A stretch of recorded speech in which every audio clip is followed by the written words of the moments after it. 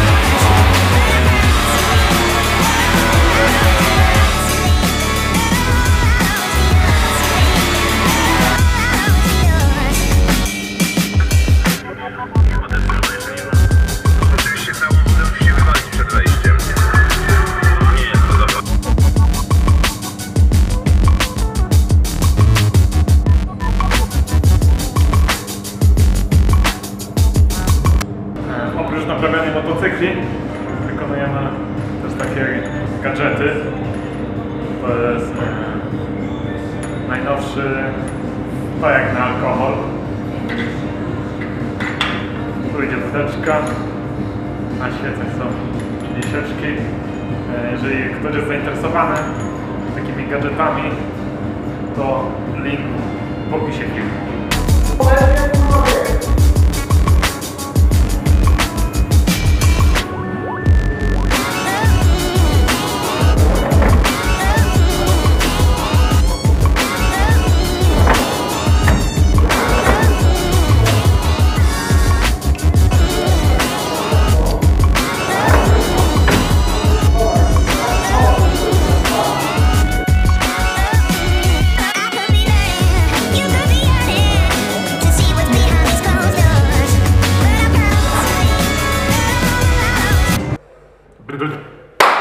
Chińskie motocykle. Jak wielu ludzi, tak wiele zdań e, na temat, czy są one dobre, czy są one do dupy.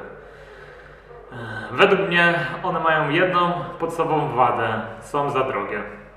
Po prostu. E, cena nie jest adekwatna do jakości tych motocykli i czy to dotyczy motocykli typu takich junaków, czy rometów dużej pojemności, czy tych najgorszych chłamów, które można kupić yy, w supermarkecie, czy w innych tego typu sklepach. Yy, Bo materiały, które zostały użyte do zbudowania tych motocykli są dalece od idealnych i są strasznie delikatne, czyli śruby, e, na przykład łańcuch i zębatki, które są, są strasznie miękkie i te wszystkie kiepskie rzeczy, które znajdują się w tym motocyklu praktycznie natychmiast po zakupie takiego sprzętu musimy wymienić. E, Co jeszcze nam winduje cenę do góry. Dlatego, jeżeli mamy na przykład e, do kupienia jakiegoś Rometa ADV 250 za 15 tysięcy złotych, a na wtórnym rynku za te pieniądze możemy kupić już całkiem niezłego Japończyka, którym na pewno będzie się dużo lepiej jeździć, e, będzie dużo bardziej wytrzymały i koszta związane z eksploatacją tego motocykla będą o wiele niższe. Eee, A sam komfort o wiele większy. Zgodzę się na pewno z ludźmi, że na tego typu motocyklach e, chińskiej produkcji da się zwiedzić Europę, a nawet cały świat. E, To nie jest problemem, bo przecież i hulajnogą można pojechać w świat klocki hamulcowe, e,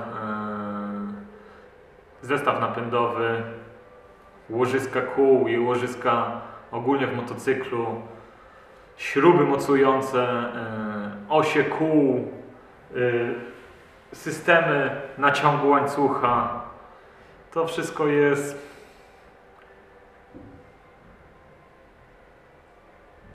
dosyć wątpliwej jakości i dalszej eksploatacji, czyli yy, za 5-6 lat i po 20 tysiącach przejechanych kilometrach to będzie w coraz gorszym stanie niż jest.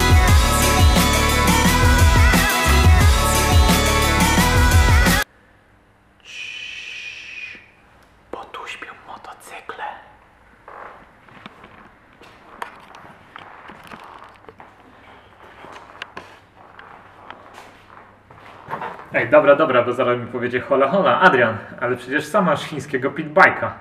Owszem mam i dlatego wiem, yy, że oprócz zakupu pitbike'a musiałem w niego włożyć yy, troszkę pracy i pieniędzy, bo wymiana opon, yy, wymiana zestawu napędowego, tylny amortyzator, kierownica, roll i tak dalej, i tak dalej. I Uwierzcie mi, jeżeli się zdecydujecie kupić e, chiński motocykl, na pewno będziecie zadowoleni i na pewno będziecie e, się cieszyć i czerpać przyjemność z jazdy na nim. Ale, ale, jeżeli nie będziecie o niego dbać należycie, to to się szybko zemści. A porządne, znaczy porządne, e, powiedzmy markowe motocykle są bardziej po prostu debiloodporne i e, podsumowując, jeżeli macie chiński motocykl albo zastanawiacie się, czy kupić e, chiński nowy motocykl, czy japoński używany, ja bym jednak polecał kupić używany japoński. Oczywiście mówimy o dobrej sztuce, która nie jest zgnojona. Takie jest moje zdanie. A jeżeli się uprzecie na chiński motocykl, kupujcie i na pewno się będziecie nim cieszyć i wiele lat jeździć, ale po prostu o niego dbajcie.